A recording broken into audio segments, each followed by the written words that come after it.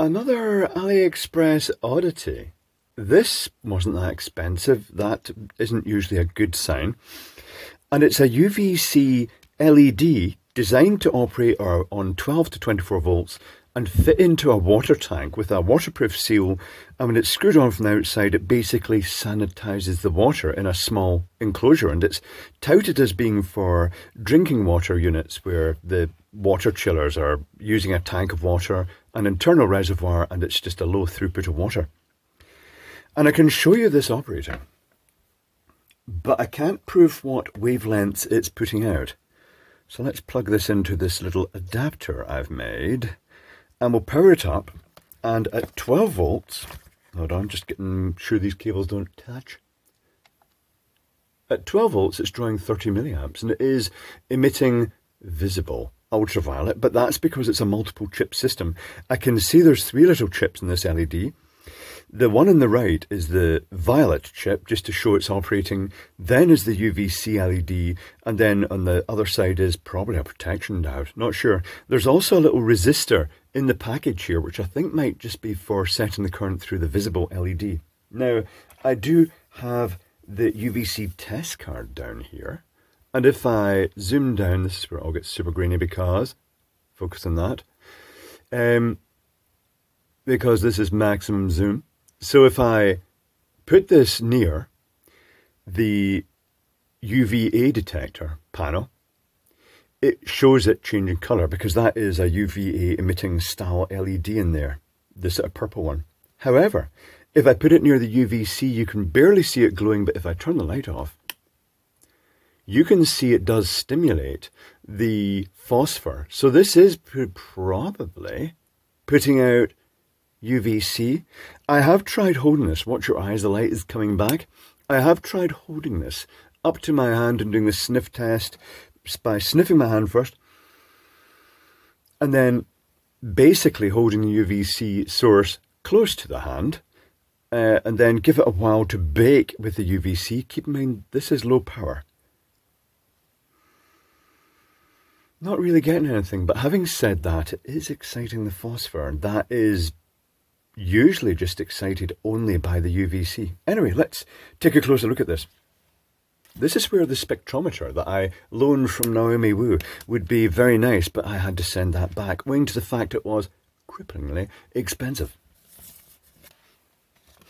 We're talking like well over a grand for a device that can only measure from about 200 nanometer up to 400 nanometer, very narrow um, bandwidth.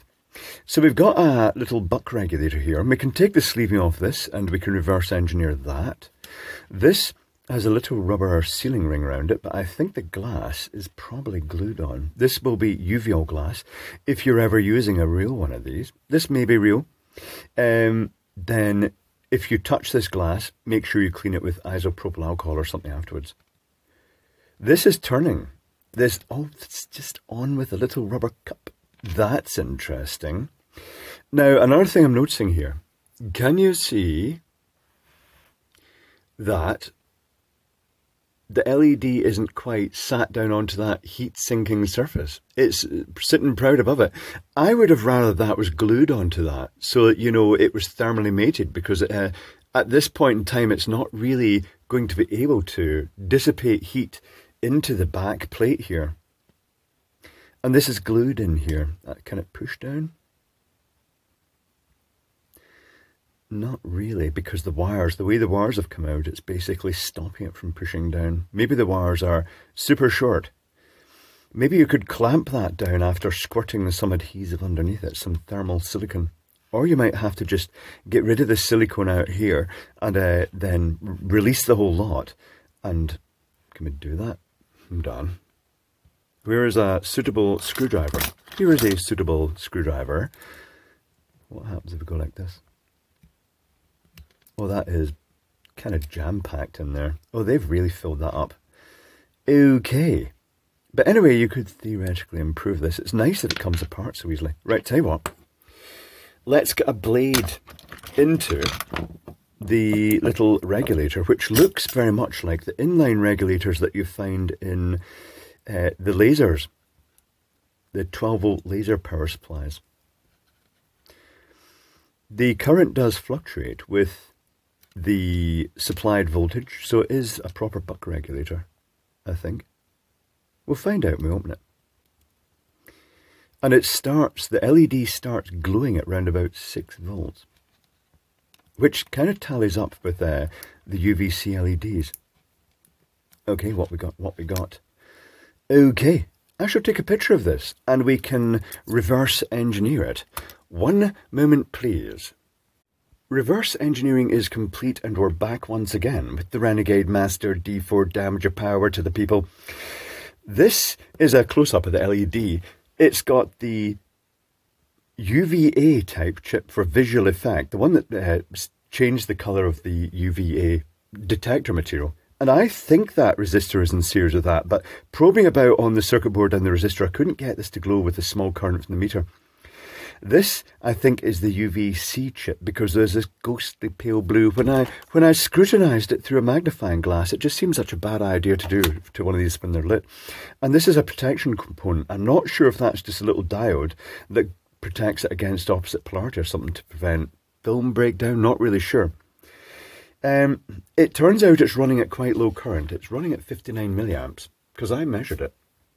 I did all the work, took this uh, apart, then put it back together with translucent sleeving on it. But before finalising, sliding the sleeving across, I put the meter in line with the LED to measure the current. So it is based, and I'll zoom in this, on a PT 4211B uh, LED driver that's normally used for things like LED downlights. Say, for instance, your 12 volt MR16 downlights. So it starts off with the positive supply coming in via a Schottky diode, and then there's a smoothing capacitor there.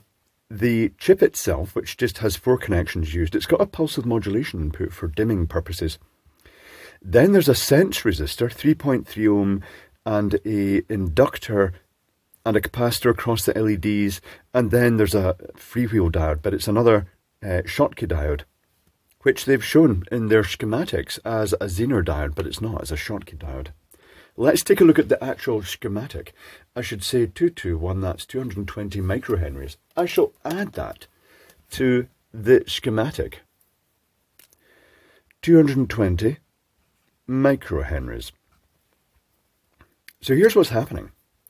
There's a polarity protection diode, that's nice. There is a capacitor. There's the chip and it's also worth mentioning that another chip which tallied up with this was the UM1350, very much a standard pinout for uh, current regulation chips. It's one of these saturated markets where everybody's vying to get their chips put into someone's product. In operation, the LX pin is switched to the negative rail. And this is very similar to other circuitry that we've shown the current sensing circuitry with, but in a slightly different format. It's going up to the positive rail for the sense resistor. There's a 3.3 ohm sense resistor, and that goes to the sense input, which detects 200 millivolts as a threshold. When this turns on, current flows through that sense resistor, through the LED, and is inhibited by the inductor, and as the magnetic field field builds up in the inductor, the current will potentially increase. When it reaches the threshold, though, 3.3 ohms, it turns the circuit off. And when it turns it off, the magnetic field across the inductor collapses and it produces reverse voltage, which then goes through this extra Schottky diode and gets channeled through the LED and to charge up that capacitor. So I measured 59 milliamps. I wonder what current would actually be. Hold on, where's the kink calculator? Kink calculator. Uh, I equals V over R. That's 0.2, which is the 200 millivolts. Let's actually type in 0.2, shall we? 0.2, 200 millivolts divided by 3.3 equals 60 milliamps. Very close to what I got. That'll be the slight tolerance of the resistor probably. So they've just chosen the nearest value of standard resistor to get roughly 60 milliamps through the LEDs. It also means that the the low current of this, the 60 milliamps flowing through the LED, is not that dramatic. I would expect there to be about 5 volts dropped across that. So that's going to be about 300 milliwatts. So in that basis, it's not so bad that the the circuit board isn't mounted directly down onto this plate, although I would prefer it to be sandwiched onto that plate uh, so that when it's actually put into the housing, it's going to couple heat into the glass and this metal frame that's just going to keep that just a little bit cooler for maximum life. Uh, talking of life, just because it's lit doesn't mean it's putting out UVC if the if the UVC chip itself fails, but the purple one doesn't. Um, I suppose ultimately you just have to have a routine of testing these things. But that's it. A very basic LED driver as used for other lights like the little inline spotlights and uh, for lasers and stuff like that. And a standard UVC LED. And that's the package you have for uh, sterilising little tanks of water. Quite interesting. Very useful little thing.